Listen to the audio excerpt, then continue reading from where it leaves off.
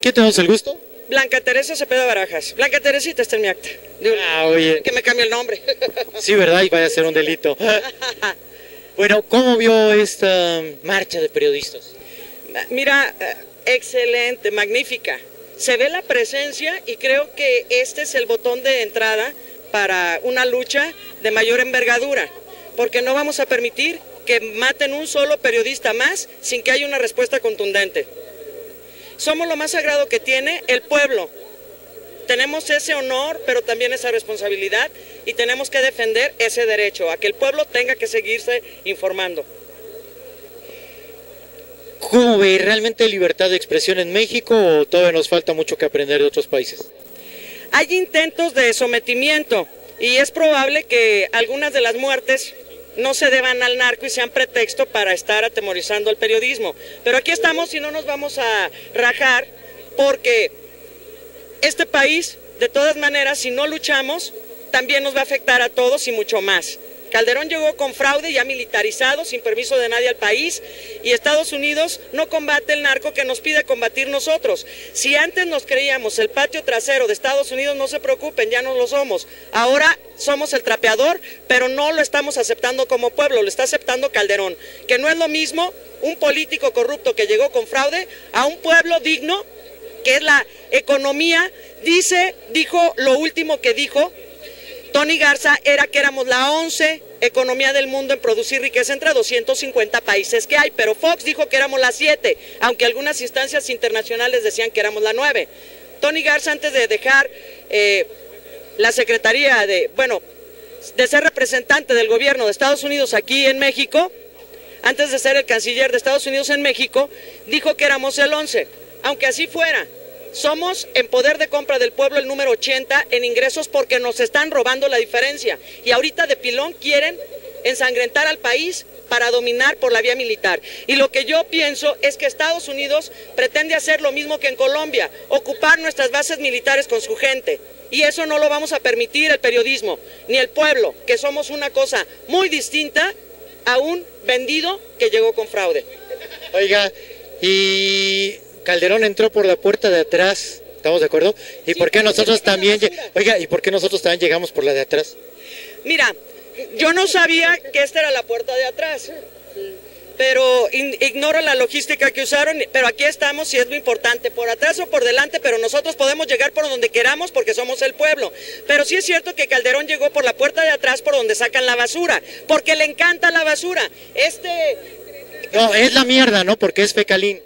Sí, claro, e, es este, una combinación de ambas cosas con mucho más, que no se dice por respeto a quienes nos escuchan, pero le, tan le gusta la basura que, este, que el calderonato desapareció a Diego Fernández de Ceballos. ¿Dónde está esa basura, por favor?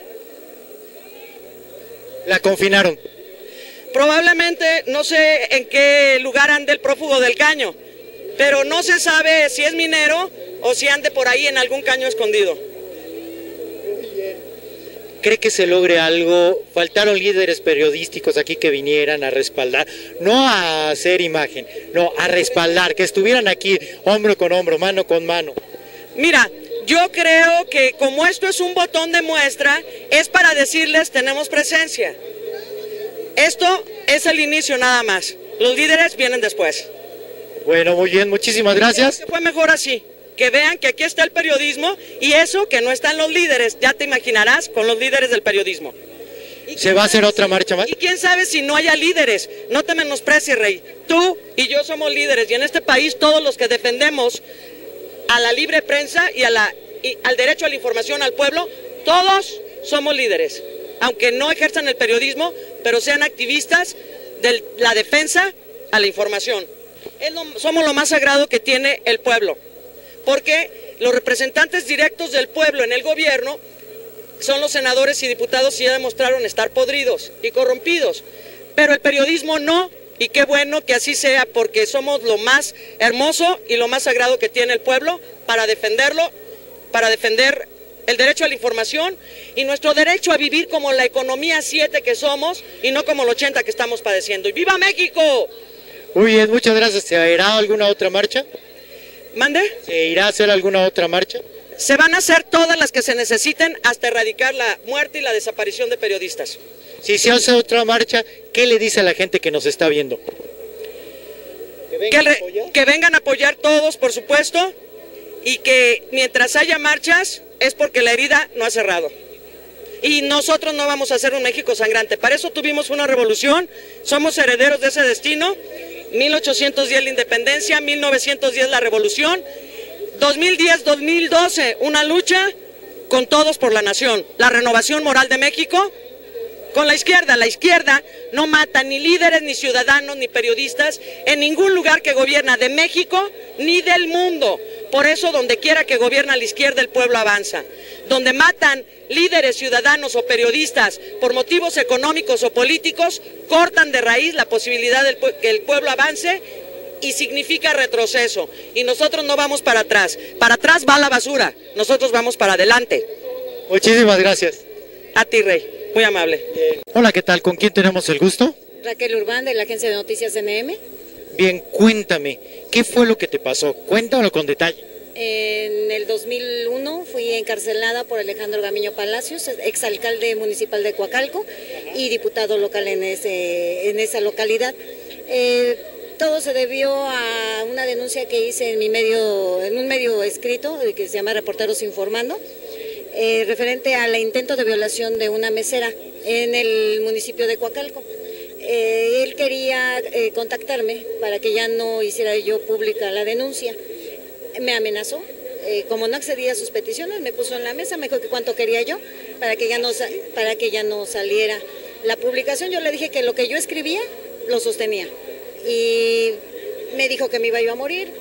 Dije, no importa, no importa, sigo este, con lo dicho, lo que yo escribo lo sostengo. Y si me voy a morir, me muero pero no voy a, este, a echar un paso atrás. ¡Wow!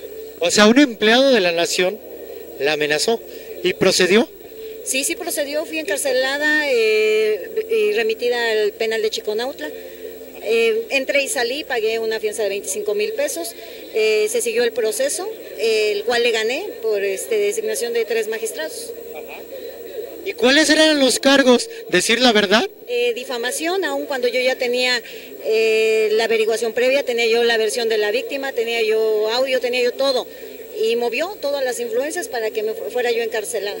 A ver, aquí entre nos, casi nadie se va a enterar. Como dicen por ahí, a calzón quitado, ¿a quién hay que tenerle más miedo? ¿Al gobierno o a los delincuentes? ¿Cuál es peor? Al gobierno. Al gobierno porque están coludidos con ellos también. Pues este es un caso, porque aquí muchos estaban diciendo, sí, sí, sí, estamos en contra de los narcotraficantes y eso, pero yo creo que el gobierno también tiene mucho que ver en esto. Claro, eh, eh, aquí nada se mueve si el gobierno no lo sabe. Entonces, eh, esta es la marcha que ahorita llevamos a cabo, yo creo que es el grito que hace muchísimo tiempo debemos de haber hecho, dado en todo, no nada más aquí, es a nivel internacional y como en todos los gremios, no hay unión. Creo que ahorita ya se está viendo que todos necesitamos de todos. Pero hasta que el niño se haga. Claro, y esperamos que sea la primera y última marcha que se haga de los medios de comunicación y a nivel internacional que todos estemos unidos. o que sea la primera y la siguiente sea más fuerte para que vean que no estamos de acuerdo con lo que está pasando en este país. Eh, claro, pero yo esperaría que fuera la, la, única, que el gobierno hiciera algo por nosotros, que se escuche nuestra voz. Hoy fue una marcha en silencio. Nuestros medios son lo que, los que vamos a gritar la pluma, las gráficas, son los que van a decir todo lo que sentimos. Muy bien, si usted tuviera aquí enfrente a Felipe Calderón Hinojosa, el secretario de Gobernación, y al representante de todos los diputados y senadores, ¿qué le exigiría a estos empleados de la nación? Les exigiría, yo no les exigiría, les pediría que pusieran un poquito más eh, atención en los medios de comunicación, que somos la voz del pueblo, que nos escuchen. Eh, que volteen hacia nosotros para que seamos también parte de ellos, que, nos, que les podamos aportar también información, para que ellos puedan actuar y que no digan que no se dice, que no se sabe. si nosotros ya lo dijimos. ¿Hay libertad de expresión en México o nada más es un papelito? Yo creo que si hacemos el papelote, no hay, no hay libertad de expresión. No la hay. Desgraciadamente, eh, los medios eh, importantes, yo esperaba verlos, no hay. Creo que todos somos importantes, pero los medios que ahorita se supone que ellos también tienen, deben de transmitir lo que sentimos, no están. Sí, no vemos a ninguna este, representante conocido de los medios. Uno está de vacaciones, está perdonado, pero Javier Solorza no está perdonado. Pero todos los demás, ¿dónde están? Nos dicen que nos mandan a sus representantes, he visto dos, tres personas este, con sus playeras, pero esperemos que no nada más sean los representantes aquí. Queremos también que en los medios se, se vea lo que estamos haciendo. Muy bien, consejos, este, reclamaciones, este, algún comentario que no dejemos solo al presidente, nada más porque creo que es una de las personas que en este momento ni es el mejor ni es el más malo. Creo que todos como nación debemos de integrarnos para que podamos mejorar el nivel de vida que tenemos todos. Sí, que lo cuidemos también que está haciendo para que no nos vaya a salir con una jalada. Claro, claro. Por eso le digo, no es el, el mejor en el momento ni es el peor pero es el momento en el que todos tenemos que estar con el presidente, con los gobernadores, todos tenemos que estar integrados, nosotros como medio de comunicación, con la población, escucharlos. Por eso nos caracterizamos. por chismosos. No, nosotros sí hacemos comunicación. Los chismosos están en el Ajusco, están en Chapultepec y en Mariano Escobedo. Así es. No, nosotros somos gente decente.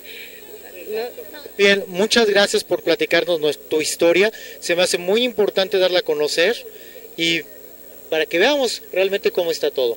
Ok, te agradezco mucho la atención y qué bueno que hayas estado acá con nosotros. Gracias. Bye.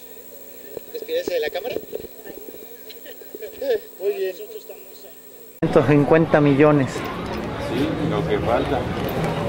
¿Esto por qué? A ver, cuéntame. Me das de cuenta que se supone que ese es el presupuesto que se le ha dado a Capital 21 desde hace tres años Ajá. para hacer pues, producciones. Pero en la realidad, pues son producciones fantasmas las que hay en, el- en la programación de Capital 21. Sí. Eh, yo trabajo como camarógrafo de, noticias. A los camarógrafos y editores de noticias nos ponen a hacer los, los, este, las, esas producciones. Por ahí puedes ver las fotos. Sí, ¿no? sí. Ahí en las fotos estoy yo solo manejando tres cámaras en el estudio. Ajá. Como se puede ver, no hay nadie más más que el invitado y el conductor, ¿no? Sí, sí. Y según los contratos, aquí los traigo, si los gustas ver, Sí, sí. este, dice que, que se hace en un foro eh, aparte de la, de la produ- supuesta productora, Ajá. con ah, 20 personas en el, en el set. Ajá. Continúa. Ajá. Y este, A ver los contratos. Sí, ah, mira, aquí los traigo. Sí, sí. Es porque es, es sobre esas fotografías y es muy importante Sí, sí, sí. que te lo aclare. Miren, en esas fotografías se aprecia uno de los programas de Capital 21 que se llama Después de la letra la palabra, conducido por el ya conocido Jorge Fernández Meléndez. Ay, Dios y en, ese- mío. y, en ese- y en esa fotografía está con Ana Lilia Pérez, perdón, Ana Lilia Pérez de Contralínea. Ajá. O sea, que ellos, a ellos dos les consta cómo se trabaja en Capital 21. Sí, sí. Aquí está el contrato. El, el contrato, pues eh, bueno, aquí dice varias cosas. Déjame ponerte la parte importante. Sí, sí. Bueno, aquí se, se le está pagando por hacer 19 programas Ajá. con un precio unitario de 15 mil cada uno, cuando en la realidad solo se producen 5 y 15 repiten. Esa es parte de las producciones fantasmas de Capital 21. Ajá. O sea, ¿Y así quieren a tener un canal abierto de televisión? no, o sea, es un business nada más para su campaña de Marcelo. Ajá. Realmente no, esto no es real. No, mira, déjame explicarte acá lo del.